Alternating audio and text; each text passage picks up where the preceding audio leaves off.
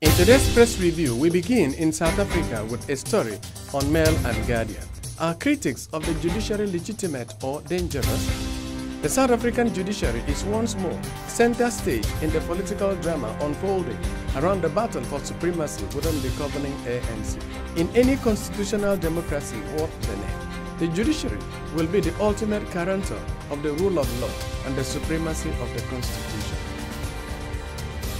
Now in Uganda with the story in the Daily Monitor captioned Inside Bobi's Plan speaks about immediate action point in case he assumes top office. Still is another story. Waste to curb sexual gender-based violence in slums. Data from the Ministry of Land, Housing and Urban Development indicate that between 49 and 64 percent, about 1.6 to 2 million people of the totally urban population in Uganda live in slums.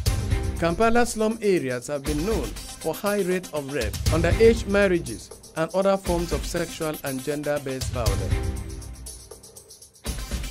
In Kenya is a story in Daily Nation. Police in Kisumu hunt for gang that raped census official. The national population census in Kisumu started on a sad note after one of the enumerators in Maseno was gang raped by unknown men on Saturday night. And we end with Nigeria's Vanguard newspaper with a story 77 suspects on FBI list, a double damage on us, presidency. Presidency has described the 77 suspects on FBI list as a double damage on the country, noting that the federal government is currently working with the international organizations and Federal Bureau of Investigation FBI to stop internet fraud.